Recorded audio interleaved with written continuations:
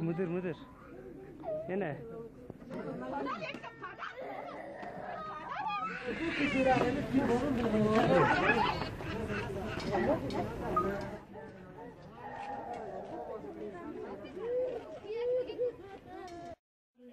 بچه آخرین بچه که در این سفید شرمه که زیر سفلت ناغنه گیر بیوید